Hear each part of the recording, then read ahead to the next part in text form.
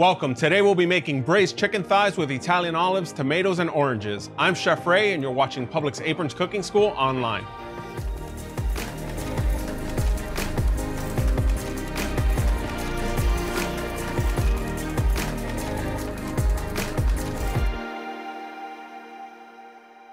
We're going to start by making a cartouche. And uh, this is going to act as our lid. We're even going to cut a little hole on it to uh, help vent to uh, really concentrate these flavors. So in order to do that, we're going to use some parchment paper. And I'm going to take a nice piece of it. It's okay to get a little extra on there. And we're going to cut that.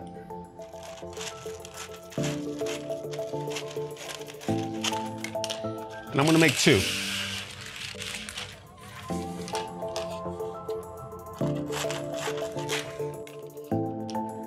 Gonna stack them up on top of each other. What we're gonna do is we're gonna fold them in half first.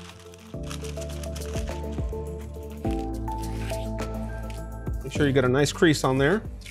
And then we're gonna fold them again.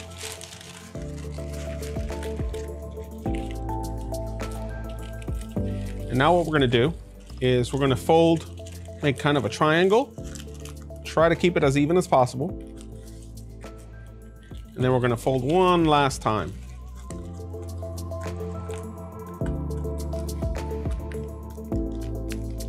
Okay, so now you should have something that looks like this. So what we're gonna do is we're gonna go about halfway into our pan and we're gonna kind of take a little measurement there. And what we're gonna do is we're gonna try to cut this almost on a, kind of like an angle. Uh, that way, get a little bit of that curve. And then we're also going to cut about half an inch off of the center. And let's see. And that's gonna go right over our pan. Okay, I'm gonna set these aside and go get our chicken. Okay, we're gonna start by adding some olive oil to our preheated pan. We're gonna do quarter cup, about two ounces. We have onion powder, garlic powder, crushed red pepper flakes,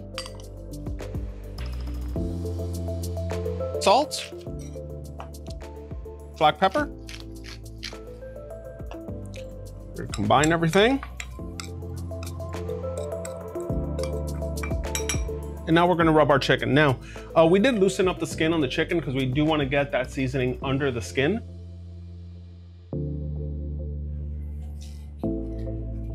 Now we're gonna flip them over. And we're gonna get seasoning on this side.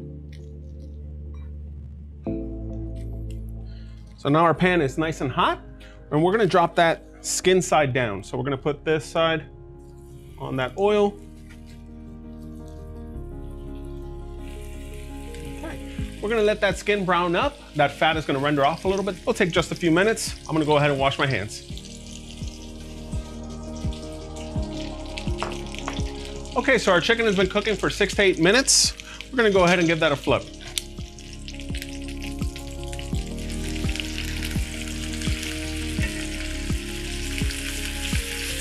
We're gonna let this cook for another three to four minutes.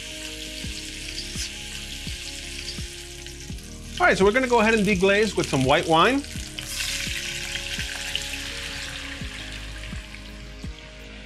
any of those little bits uh, that have cooked on the bottom, that's called fond.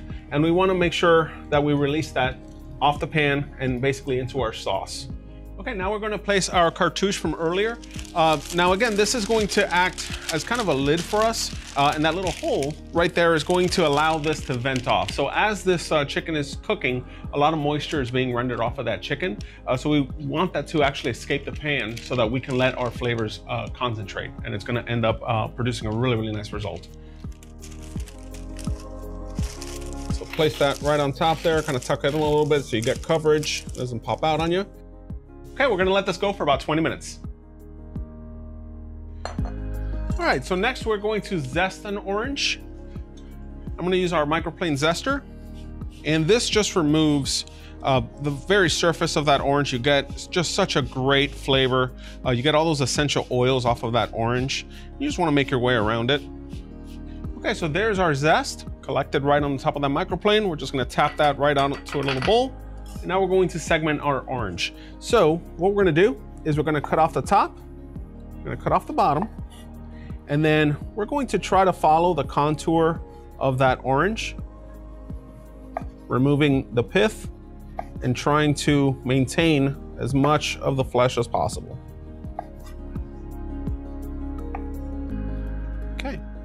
Right, so now you can see that the orange is gonna have like these little lines on it and that's gonna act as your guide for when you're segmenting these.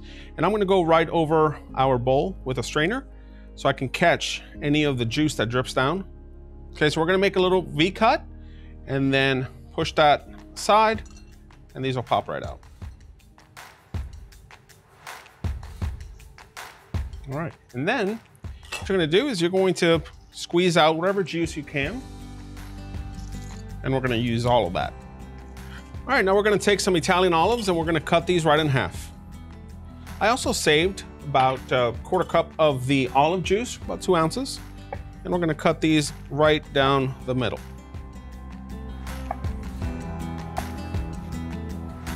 We're gonna remove our cartouche very carefully. There's gonna be some steam. That liquid is gonna be kind of hot. And we're gonna discard this. We're gonna add some tomatoes that have been cut in half. We're gonna add some prunes. We're gonna add our olives, our olive juice,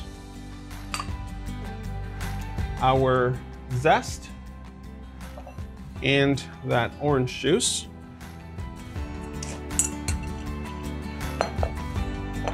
And we're also gonna add some oregano I'm gonna give this a little bit of a stir, just make sure everything's nice and incorporated. Okay, so we're gonna go ahead and top this off with our second cartouche. And again, be very careful, it is gonna be a little hot. Okay. We're gonna let that cook for another 10 to 15 minutes.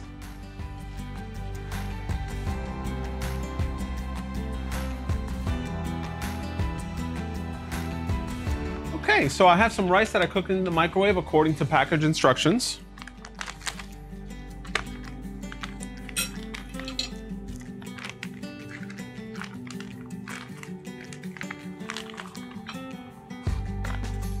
And now we're going to, once again, carefully remove that cartouche. Watch out for steam. Any of that liquid is gonna be hot. Be very careful. Now we're going to add our orange segments, some chopped parsley. All right, that looks really good. I'm gonna go ahead and get some plates.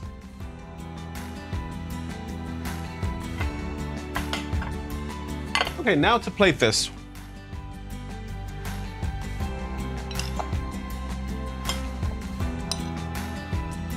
Okay, now we're going to take chicken thigh, sure we get some of that sauce, some of those oranges, tomatoes, olives.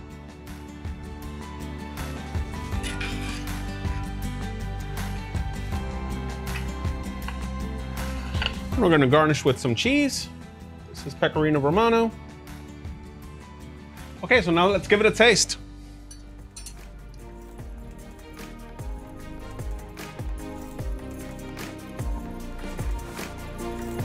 What a great combination of flavors. You get the prunes in there, you get the citrus from the orange, you get the olives, that brininess, the tomatoes, just really, really wonderful. And by braising that chicken, you really get to make it nice and tender, really develop those flavors.